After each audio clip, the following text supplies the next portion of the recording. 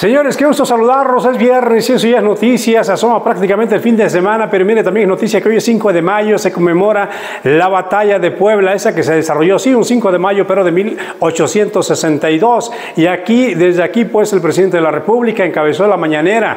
Habló justo de este tema del desfile y de que el mejor ejército del mundo se puede vencer siempre y cuando sea en unidad y por la soberanía nacional. Esto dijo el presidente. También habló de otras cosas que le vamos a comentar porque la mañanera se hizo desde Puebla. Y aquí justo también el gobernador Sergio Salomón Céspedes Peregrina hizo anuncios importantes. Buenas noticias, mire, anunció una nueva línea de ruta. Es la línea 4 del sistema de transporte articulado que va a recorrer varios municipios, Coronango, Amozoc, eh, Cuautlancingo y Las Cholulas. Vaya, un circuito importantísimo, por eso digo que son buenas noticias, además de dos distribuidores viales y una nueva central camionera del sur. Le voy a dar los detalles en unos momentos más.